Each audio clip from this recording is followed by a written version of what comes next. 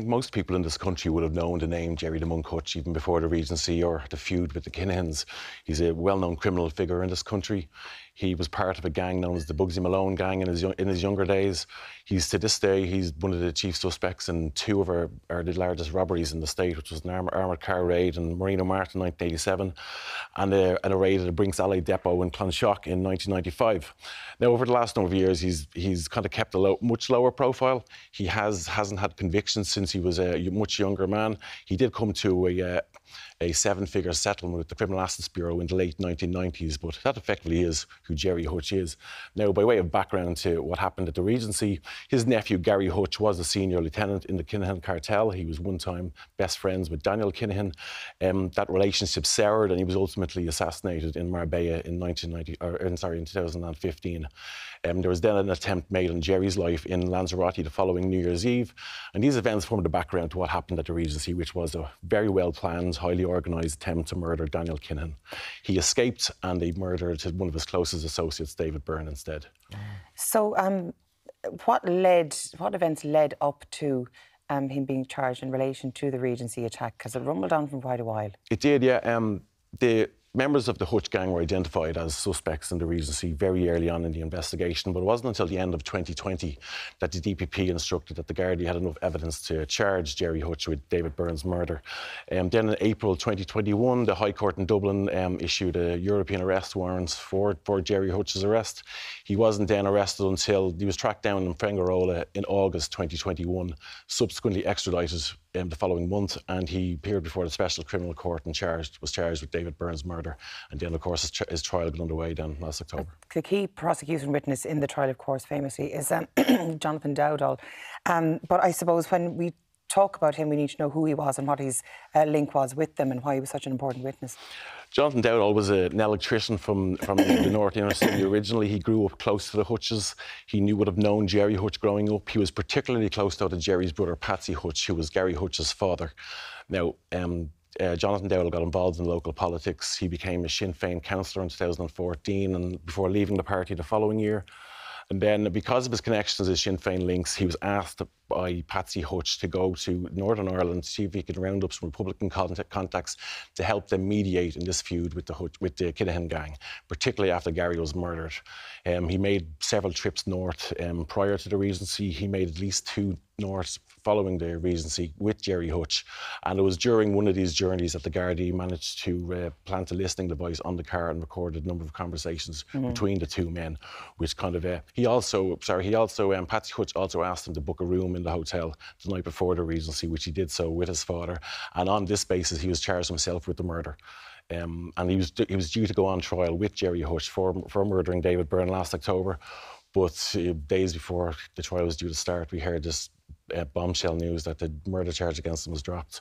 That he'd made a statement against Gerry Hutch implicating him in what happened to David Byrne and he would become a state witness and ultimately be entered into the witness protection program. I know, and I suppose we, we know from the reports on that trial that ultimately the um, his testimony was wasn't given um, as much credence as the prosecution had hoped because um, of his uh, falsehoods in the past. Well, well, this this is it. The, the case against Gerry Hutch kind of like hung, hung on whether the three judges believed what Jonathan Dowdall had to say. There was absolutely no independent evidence to back up anything he said. There was no CCTV, there was no DNA, no forensics of any kind that would put, place Gerry Hutch even in the country on the day that David Byrne was murdered.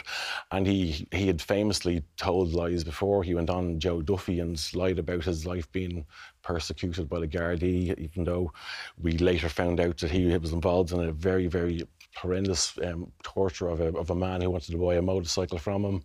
Um, and because of this, the judges kind of said his evidence had to be treated. Just wasn't a credible witness. He, they yeah. said he had to be uh, treated with extreme kind of skepticism because, like, his interest was effectively he was given his he was acting in his own self-interest by mm. testifying in many yeah. ways, and they couldn't be relied upon at all. Um, tell us, Michael, what impact do you think the Regency attack has had on the kind of world of organised crime here in well, Ireland? The Regency the police the, deal with it. The Regency was a landmark day for I think in Ireland. It's up there, I'd say, with, with stuff like the murders of Veronica Guerin or Martin yeah. Cahill was used, not necessarily because of the identity of the victim, but certainly the sheer audacity of it and the wave of violence and murder that followed in its aftermath. Um, it made household names out of people like David Byrne, his brother Liam Byrne, and it certainly made a household name out of Daniel Kinahan. We had Garda, they were Garda were given extra resources. We had like armed Gardaí were on the streets. There was checkpoints. Uh, um, it was a it was a scary enough time in the city, but there was also there was a special um, there was a second special criminal court which was uh, which was brought in straight after it, um, and we're still kind of feeling the effects of it today. Even now, like the Gardaí have done an amazing job in kind of quashing the quashing the feud. There has been a feud murder since December 2018. It's not that long ago, though, really. Is it? It's it's not, but, but those two years certainly following what happened at the Regency between 2016 and 2018, it was horrendous. There was seemed to be a, certainly in the for the rest of 2016, it was on average a murder connected to the feud every month. Um, for the rest of that year, and it went on until for, it rumbled on for the next couple of years. So, um, it's been kind of the dust has settled very much in that respects over the last kind of recent years. Gerry Hutch now, where is he? Is he really gone? Is he ever coming back? Good question. Yeah, because- is he still in Ireland? Yeah. Well, after after he like was the Scarlet Pimpernel, Yeah, after, isn't after he? he was acquitted, we kind of um, we, we thought he would head back to Spain almost immediately, but he didn't. He hung around Dublin for a number of weeks, but we do understand that he has since left the country. He's gone back to Lanzarote, um, and whether he stays there for how long is anybody's guess, I guess. Does he have much of a portfolio in Spain? Do we know? He has he has a he has a well he's a large property portfolio. He has strong ties to the country. He has um, his arrest made headlines there. Um, his arrest extradition made headlines in Spain. Uh, further afield and, and with the whole Kinahan situation, um, mean they're uh, because of the connections to boxing, they're well known globally. Um, there's an FBI bounty against the, the leaders of the Kinahan cartel. So.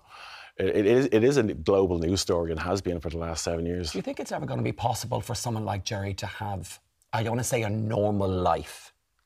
Her face. Is it ever possible that this story will just go away and he can walk down the street and people won't care? Or is this because of this? Is there even going to be more scrutiny on him? Yeah. Well, certainly because I'd say there is going to be more scrutiny on it. I mean, I mean like, he, he, he's in, he is in Spain at the moment. We didn't know that he mightn't be as well known in Spain to the Joe public on the street that he is perhaps here. Um, so it, it, it's, it's, I guess, I guess he, he probably can. I, I'm sure he can. I'm sure at some point the point will arrive where, where Gerry will be able to kind of uh, keep his head down and walk Then down the he street. doesn't have to go to an island off Iran to go on his holidays, Well, basically, this is like it. I Daniel. saw, yeah, I, saw, I was reading the headlines there Yeah. this morning in, in connection with that. Yeah, that's that seems to be the, their profile. Certainly, I would say is probably, uh, if not bigger than, than Gerry's at the moment. Certainly, Yeah. certainly their, their, their wanted uh, profiles. And like Michael said there, he just needs to keep his head down. Yeah. Thank Uh, you. Um, thank you so much for joining us on the show problem. today. It's a fascinating story stuff. Uh, straight out of the movies, really, isn't it? Now you Yeah. catch The Monk. A free man tonight on Virgin Media One at 9 p.m.